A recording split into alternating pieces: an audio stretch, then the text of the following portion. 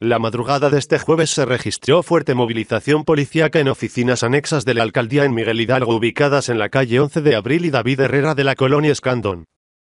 Reportaron que un comando de 10 sujetos armados amagó al personal que se encontraba laborando en las oficinas, asaltaron el cajero automático ubicado dentro de las instalaciones y se dieron a la fuga en dos vehículos con rumbo desconocido.